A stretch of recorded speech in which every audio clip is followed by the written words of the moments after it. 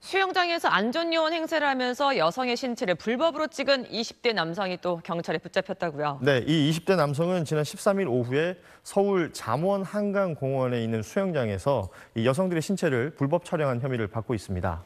당시 A 씨는 명찰 형태의 카드 목걸이와 빨간 반바지 차림으로 안전요원인 척 행동한 것으로 전해졌는데요. 범행 장면을 목격한 수영장 직원들이 A 씨를 붙잡아 경찰에 넘겼습니다. A 씨의 휴대전화에서는 수영복 차림인 여성 10여 명이 담긴 영상 등이 발견됐는데요. 유사 전과가 있는 것으로 파악돼서 경찰은 추가 피해자가 없는지 수사 중입니다.